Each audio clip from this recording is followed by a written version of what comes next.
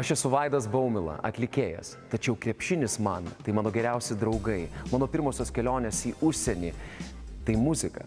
Muzika, su kuria aš augau ir augau iki šiol ir tai geriausios mano akimirkos. Be krepšinio nebūčiau tuo, kas esu. Atvirų durų dienas Lietuvos krepšinio mokyklose kartu su Biaktiv pristato TV3. Daugiau informacijos mūsų krepšinis.lt bei naujienų ir pramogų portale tv3.lt. Projekto draugas Power Hit Radio.